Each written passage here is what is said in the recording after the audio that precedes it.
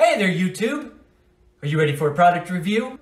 A negative atheist asking the age-old question, is this thing worth my money?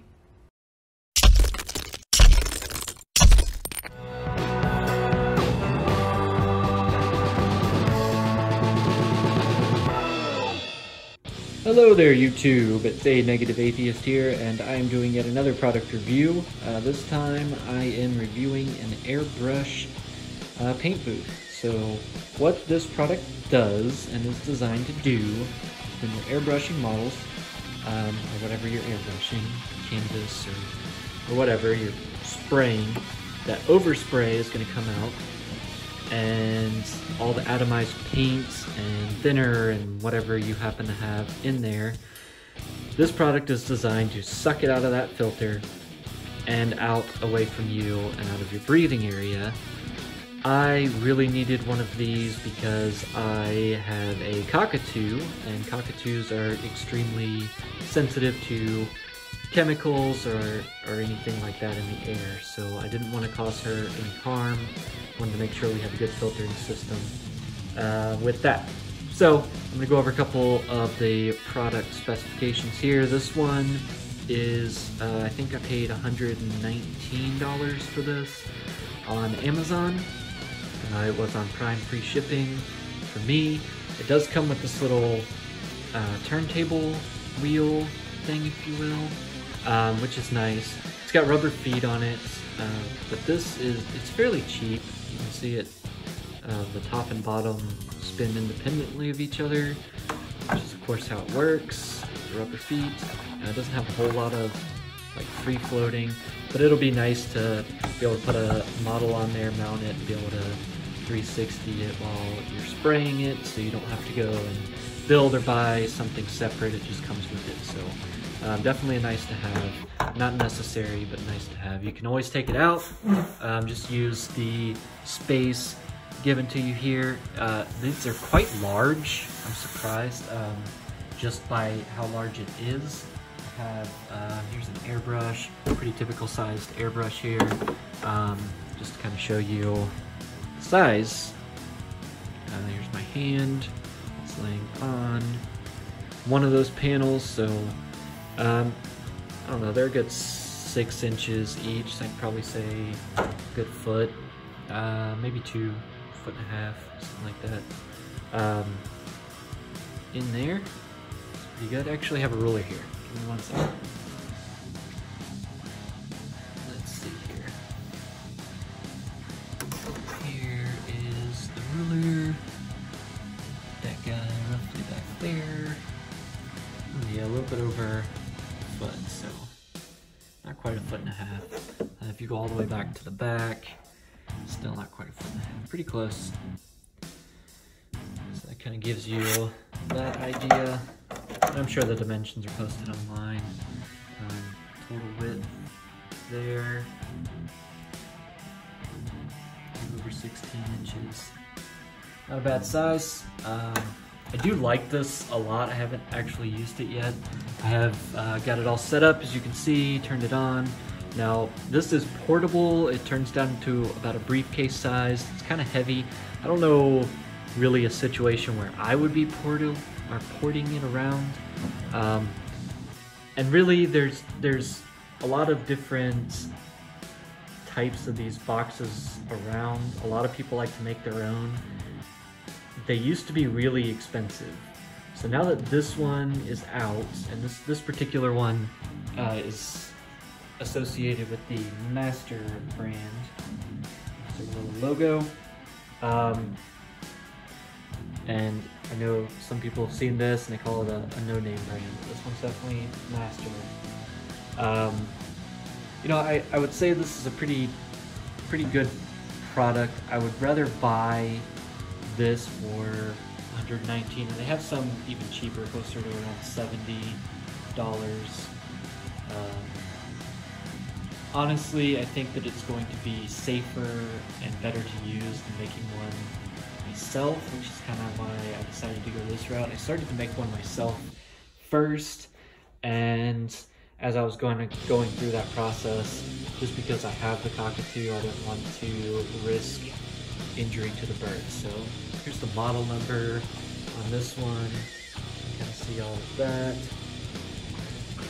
Shows you the cubic meters per minute, all that, 25 decibel noise. And oh yeah, it shows you where the dimensions there. So that. Now those dimensions there are going to show you the full expanded version all the way to the back. And this back piece here is um, the motor and the fan and all that. Um, I already have this all plugged in. I currently have paper towel fixed to the back. Uh, it does come with this outlet piece, a, a fan holder in here, which I can show you just twists on and off. It's a little tight still because it's brand new. And just got it on there. Um,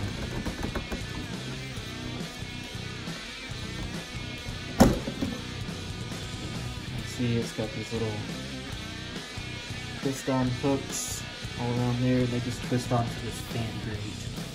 Don't know to see back here, but how that works. Uh, now I mounted the silicone part. Um, it goes onto this. Comes with the this exhaust port, the silicone piece here that has tape on it, and this fan. And it comes with two filters. There's a pre and post filter in here. I know some people have removed it. Um, but I'm gonna use them both just because I want the extra layer of protection for the bird. see it's got both there, that grate behind there keep everything in place nice and snug. It's real easy to remove and, and reinsert. I won't have any issues cleaning that. Um, may get some more in the future, but who knows. And then comes with this hose here, which I've already fixed to the outlet piece. Um, these screw in, just like uh, like a dryer hose kind of connector here. So it's got a, got a screw shape. You just screw one end in. It has to be extended um, like so. And this extends, it says to six feet on Amazon. It really doesn't go to six feet. I would say, I measured it up to my six, maybe, maybe I'm stretching it five feet.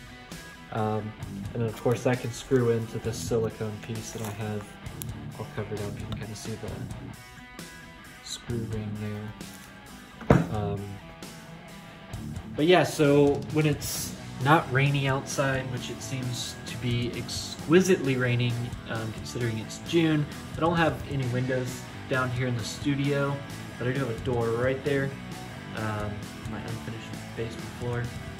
So we'll be able to just slide that over there and uh, out the door, and not have to worry about the paper towel situation. I just have that in for right now. So uh, I think this is a good product. I think that uh, the airflow is really nice and it's definitely something I'm going to use a lot. Um, but the main reason you're going to get this product is for the fan and sometimes noise can be a concern. I would say um, I've heard mixed reviews online before I bought this. Uh, some people said that it was noisy, some people said that it wasn't. Um, you can see again on here it says it's 45 decibels of noise. I don't think that it's very loud personally. Uh, when it comes to you know, recording video and audio, I normally have a microphone set up. I don't right now because my studio is still kind of in shambles, but uh, we're getting there. So um, we're gonna go ahead and give this a try. This is also the one with the LED feature. You can see the LED light bar here. Now there's one up top.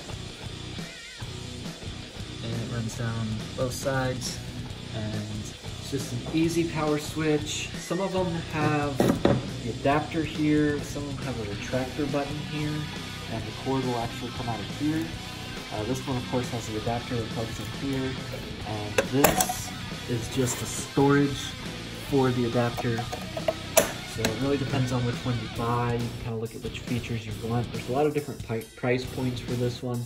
Uh, this one has the external adapter, has the LEDs, which are kind of important to me, and then um, all the filter hoses, which I definitely wanted to get the exhaust out of the room for the birds. So I'm gonna go and turn this on. It's just a flip of the switch here.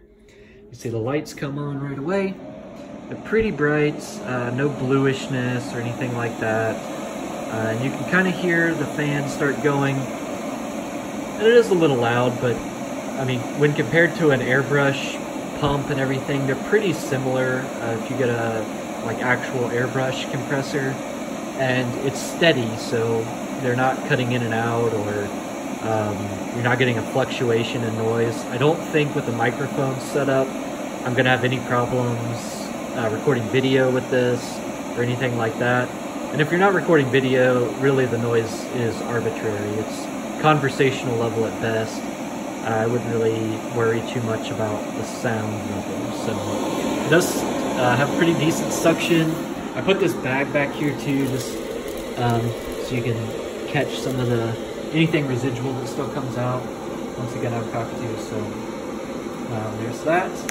Go and turn it off gets quiet pretty quick, but uh, there is the photo box, or the airbrush box, and my review. I'd say buy one. I have attached affiliate links for this product in the description below.